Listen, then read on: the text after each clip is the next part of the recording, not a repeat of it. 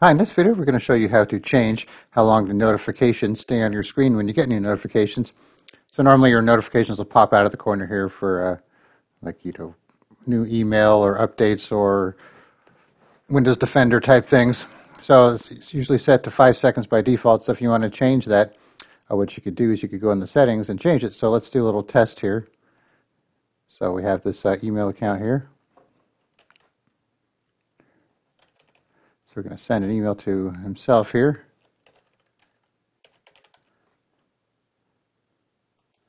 And then wait for it to show up in the notification center. Okay, so about should be about five seconds.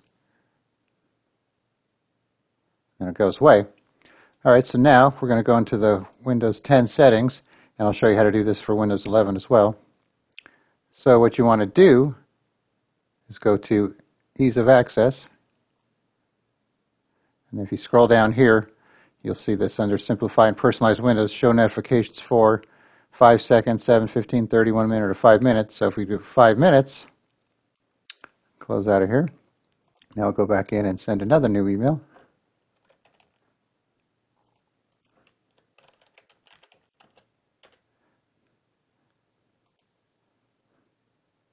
Okay, and wait for it to show up here.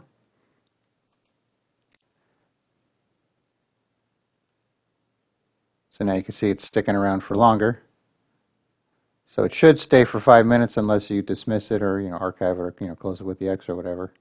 So you can see it's a good way to uh, keep the notifications on the screen longer if you uh, need them to stick around so you can act on them before they disappear. So let me just uh, go over to Windows 11 here.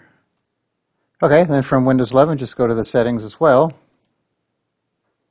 And you want to look for accessibility and then visual effects, so it's a little different how you get to it. And then you'll see your dismiss notifications after this amount of time. So it's a little bit different than the Windows 10 settings. See the notif notification still up there, so Windows 10 once again, under ease of access,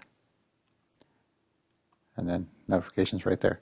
So pretty simple to do, and like I said, if you need to change it, this comes in handy. So it's just a little different if you're using Windows 10 or Windows 11, how you uh, get to the settings. But once you go in there, you can change your notifications. It'll, it's going to change it for all notifications. You can't change the time for specific ones, so it's just an all or nothing, nothing type thing.